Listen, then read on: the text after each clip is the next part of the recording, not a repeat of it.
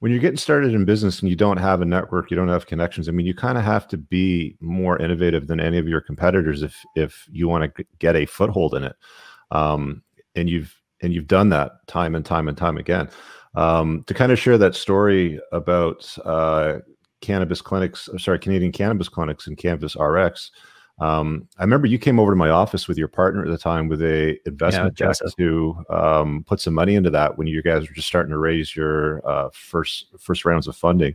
Mm-hmm. And it was the same week that I had another lawyer come into my office try to buy my book of business for cents on a dollar. I think you know who I'm talking about. Yeah. But um, um, you know, I looked at that. I was like, dude, they're not going to approve this, man. They're not going to legalize weed in Canada. That's not happening.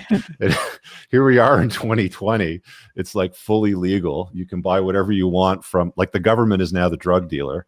Yeah. Um, you know, you came up with this concept of um, kind of kind of cracking the legislative code that was coming through the pipelines for the approval for medicinal use. Um, and I mean, embarrass me here, but I know all the information is public, but obviously I passed on the opportunity as an early investor. Mm-hmm. And um, you know, you sold to a much larger corporation, Aurora Cannabis. How much did I lose out on? I mean, you must have walked away with a triple, quadruple, even larger digit multiple, right?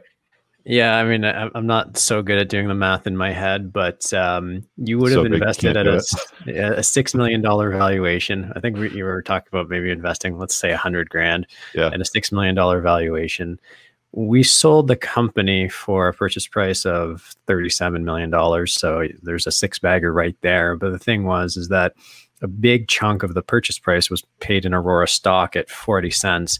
Uh, over the next two years, Aurora went from 40 cents to $16. So what that, that's another 20 bagger on top of that. So yeah. you're, you're, you know, your hundred grand could have turned into a lot of money is, yeah. is what it boiled down to. And in that case, you know, to be fair, it wasn't that I was. Uh, I, didn't. It wasn't a legal kind of analysis. I just kind of saw where the the trend line was pointing, which was cannabis was becoming ubiquitous.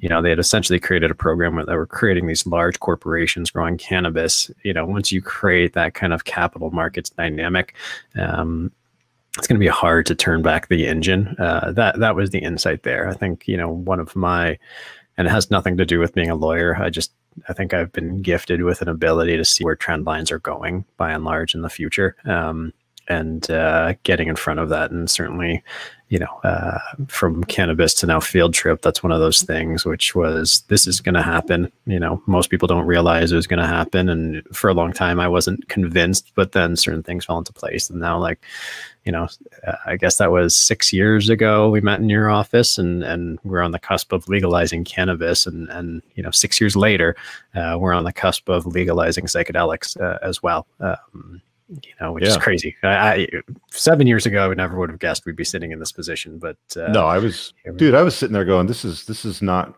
I, I just can't see this happening. I just can't see them allowing, you know, the Canadian population to just, you know, recreationally. I mean, like even at the time you were talking about medicinal use, which which had uh, you know proven peer reviewed benefits. Um, mm-hmm. You know, it existed, right? So, and then it was kind of supposed to lean into um, recreational use, and that, of course, happened very quickly soon after. So, um, yeah, bravo. I mean, like you, you know, you you uh, you know you took a stake in the industry you saw a trend coming and it ended up working out for you i mean um, had i had i invested that 100 grand uh, at that time i could have probably bought a ferrari laferrari a porsche 918 uh, maybe a mclaren p1 and a bugatti veyron just to kind of top it all off instead of the one r8 that i've got right now but you know um, i didn't have a crystal ball to peer into the future none of us do it's just one of those things that you have to take uh, take a stab at in life. And at that time, you were you were playing hard to win, and it and it was a bit of a gamble, but it you know it paid off big time for you.